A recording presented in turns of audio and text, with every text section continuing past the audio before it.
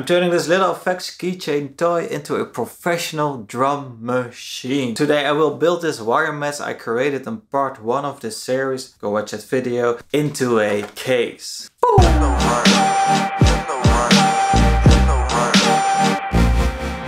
Hi, I'm Jay Watto, maker of weird and strange instruments. And I thought, what if I just designed a bigger version of this keychain toy and use that as a case?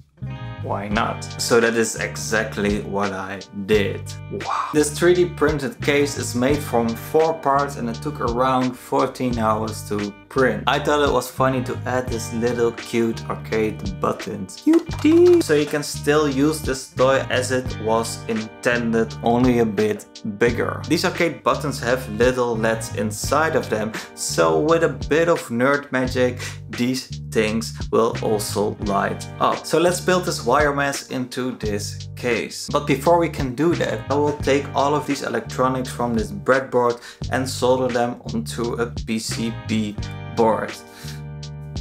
In my last video about this toy, I connected a Teensy to this keychain toy. In that video I used another transistor to control the buttons of this toy. Now when you make this pin coming from the microcontroller high, this transistor will open up the gate from ground to one of these button pads. And then it is as if you're pressing a button on this keychain toy. Today I will add these cute arcade buttons to the digital input pins from the microcontroller. So you can register these button presses separately. But these buttons also have LEDs inside of them. I will connect those LEDs to the collector pin of this transistor. So then these buttons will also light up when I'm not pressing them, but when I'm controlling this instrument with a computer or a sequencer. Cool.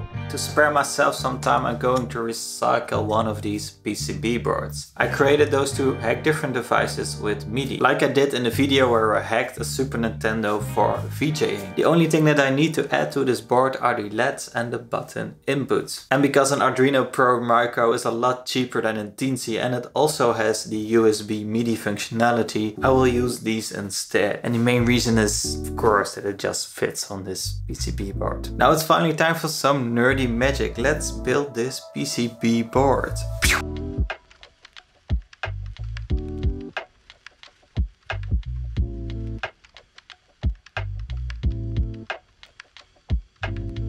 I didn't cut these collector pins from the transistor so I can solder these pins onto another perf board and connect the electronics for the LEDs on here. It's a bit ugly but who does really care when this is inside of the case.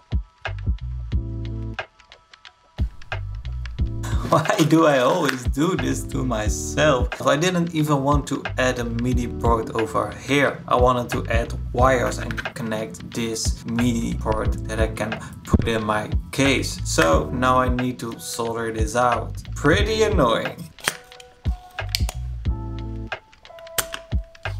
Taking too long, I'm just going to do it the rough way. Don't be scared of electronics, kids. Sometimes it just helps when you suck the solder from one end and heat it up at the other end. At least that works a lot for me.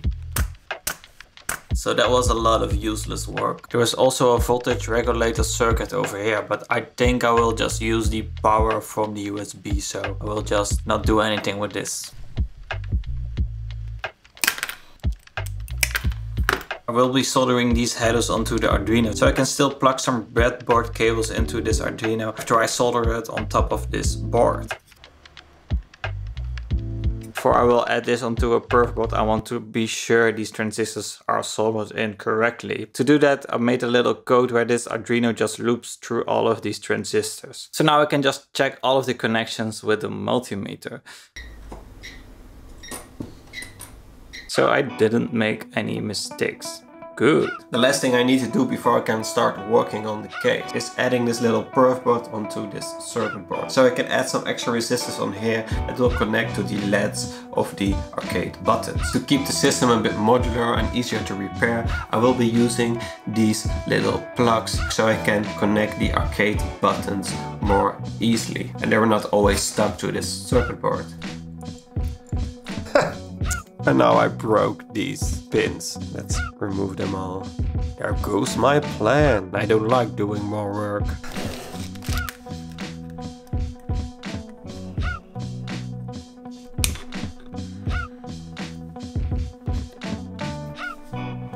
So because the transistor pins broke off, I made this system where I can just connect this circuit board to this perf board. And I think it's even a better solution. When something breaks down, I can just replace it more easily.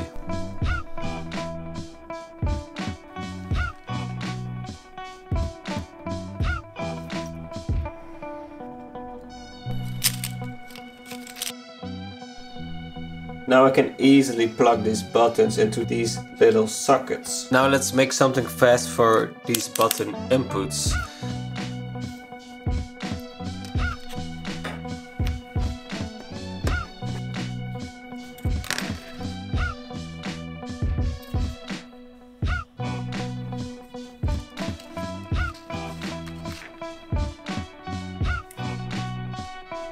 I'm finally done soldering all of these wires together and I already written the code. I'm really done with this project. I'm really, really done with this project. So let's build everything in this case very fast and then it's finally time for some music making.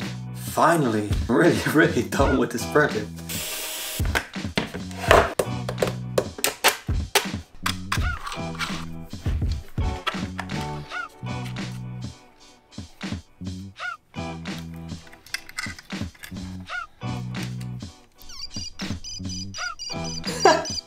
What a mess that I made. And it's gone. Bye.